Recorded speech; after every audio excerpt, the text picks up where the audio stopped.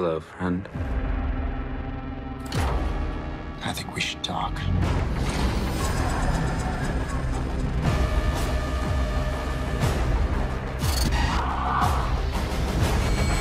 You want answers? Stop asking questions and follow me.